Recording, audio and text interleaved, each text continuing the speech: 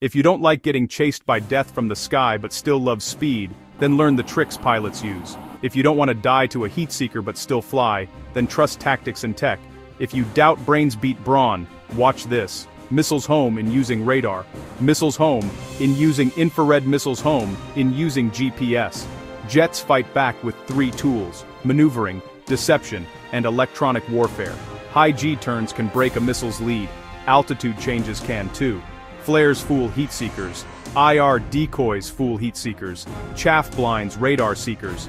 Modern jets use jammers and directed energy to corrupt guidance. Stealth shrinks your radar picture and cooler exhaust shrinks your heat signature. But missiles evolve. Imaging seekers and multi-sensor fusion cut through tricks.